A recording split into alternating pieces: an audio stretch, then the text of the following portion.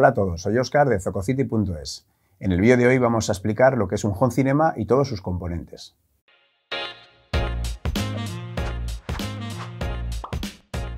Un home cinema es el mejor modo de disfrutar de nuestra música y cine en nuestra propia casa. Voy a enumerar todos los puntos que van a marcar los detalles de nuestra configuración.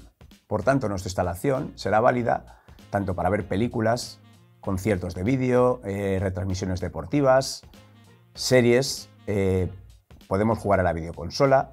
Como podemos ver, es apto para todos los miembros de la familia.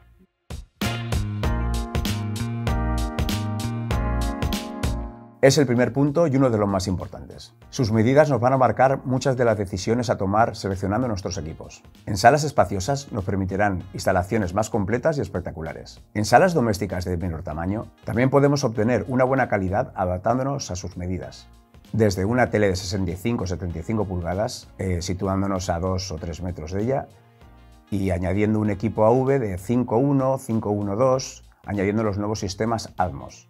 Si buscamos un rendimiento óptimo, lo ideal es buscar la mejor acústica posible. Para ello, el propio mobiliario puede servirnos de utilidad, eh, como pueden ser cortinas, eh, alfombras, sillones, todo que tenga una propiedad absorbente.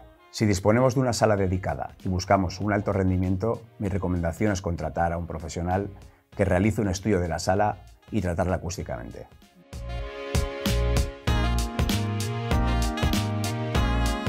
Siguiente punto, y seguimos con la medida de la sala. Su tamaño influirá en nuestra decisión. Decidirnos o por una pantalla de proyección de gran diagonal o una televisión. En el caso del proyector es totalmente necesario tener la posibilidad de poder controlar la oscuridad. Si nos decidimos por una televisión, actualmente hay televisiones de grandes diagonales, de 75-85 pulgadas, con buena calidad y un precio bastante accesible.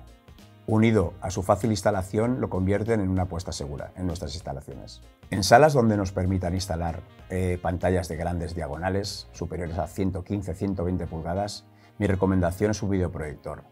Su inmersión es total recreando un auténtico cine en casa. En su contra, requiere una instalación más compleja y la necesidad de visionarlo en la máxima oscuridad.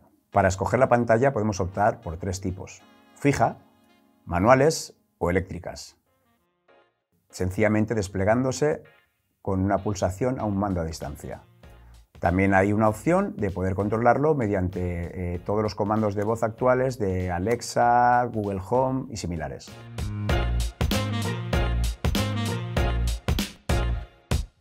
En él conectaremos todos nuestros dispositivos de audio y vídeo, al incorporar múltiples entradas de audio analógico, digital, HDMI. En la actualidad también incorporan múltiples salidas para poder eh, visionar en distintas zonas o sencillamente en una misma sala poder tener conectado un televisor y una pantalla con videoproyección. Sistema de calibración con ecualización automática, siendo especialmente buenos corrigiendo frecuencias graves sin necesidad de ningún componente externo, más complejo. Conectividad total. En él podremos conectar giradiscos, lectores de CD, reproductores Blu-ray, videoconsolas, eh, lectores USB, podemos realmente conectar todos los componentes que tengamos en casa. También incorporan reproducción de audio inalámbrica, mediante Bluetooth, AirPlay o conectados a un servidor en red. En la mayoría de unidades actuales también incorporan sintonizador AM, FM y radio por Internet. Pasamos a uno de los puntos más importantes, un procesador compatible con los códecs más actuales de audio. También incorporan conexiones de previo, o si queremos añadir más canales que no sean capaces de amplificar el propio AVR o sencillamente en cajas exigentes queramos aumentar la potencia mediante amplificadores externos o etapas de potencia.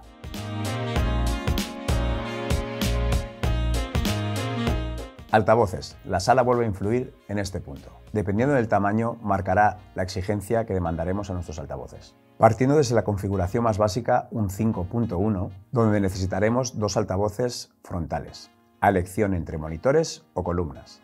Este punto dependerá de los metros a sonorizar y la distancia entre los altavoces y el punto de escucha. Personalmente, en salas de menos de 20 metros y distancias al punto de escucha menores a 3 metros, suelo utilizar monitores, aunque todo depende son gustos personales.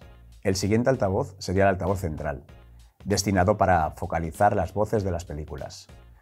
En mi opinión, es uno de los más importantes del equipo. Terminamos con los altavoces surround o altavoces de efectos. Pareja de altavoces que ubicaremos detrás del punto de escucha e intentaremos ubicarlos a unos 70-80 centímetros superior a la altura de nuestros oídos.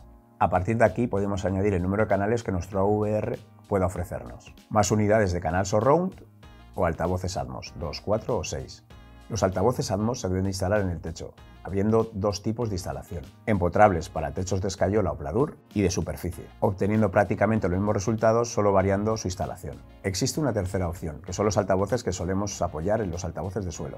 Funcionan emitiendo el sonido al techo y lo percibimos reflejado de él, siendo un sistema poco efectivo para mí, con la única ventaja de ser muy sencillo de instalar.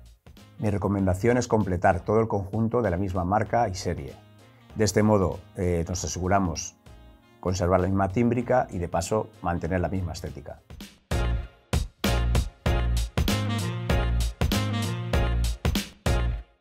Subwoofer, pieza fundamental en todo home cinema. Será el encargado de ofrecernos la máxima espectacularidad tanto en cine como en videojuegos. Una pregunta habitual es si es necesario un subwoofer en este tipo de instalaciones. Mi respuesta es sí.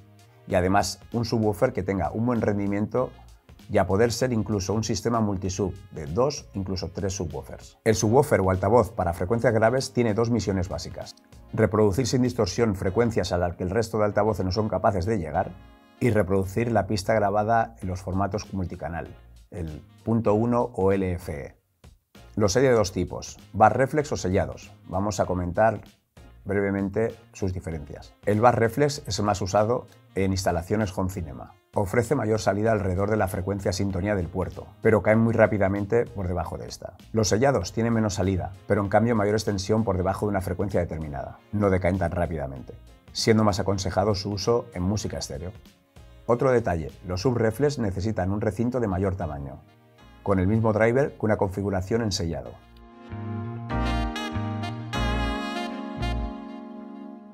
Aquí incluiremos todos los componentes que usemos en nuestra instalación, tanto para audio como vídeo. En el caso de optar por una televisión o una Smart TV, estas ya incorporan su propio reproductor y será el modo más barato y más cómodo de reproducir nuestros archivos multimedia.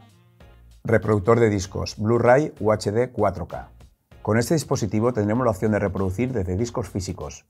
Del mismo modo también podremos leer mediante USB o incluso conectando por red. Reproductores multimedia. Suelen estar destinados a archivos multimedia sin lector físico. Su uso suele ser muy intuitivo y bonito visualmente, creando carátulas y sinopsis de los archivos disponibles. Como muestra, incorporan las plataformas de streaming más actuales, HBO, Netflix, Amazon, entre otras. Uno de los dispositivos que seguro aprovecharemos más en nuestra sala son las videoconsolas. Están preparadas para reproducir archivos multimedia y, lógicamente, para disfrutar de videojuegos.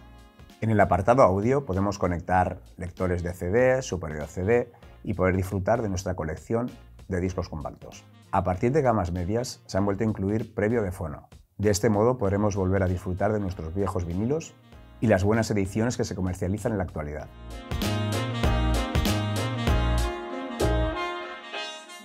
Cableado. Los equipos no suelen incorporarlo, por tanto debemos realizar la medición de los metros que necesitamos y realizar el pedido a medida. No soy partidario de grandes inversiones en cables. Sí que recomiendo que sean mínimo eh, un cable con alta pureza de cobre, plata o un compuesto entre ambos. La sección del cableado con uno de 2,5 no sería suficiente para la gran mayoría de instalaciones. También podemos optar por la versión de 4 milímetros si lo creemos necesario. Para su conexión podemos optar por el cable pelado o añadir bananas. En este caso la conexión siempre es mucho más rápida y queda una instalación mucho más limpia y ordenada.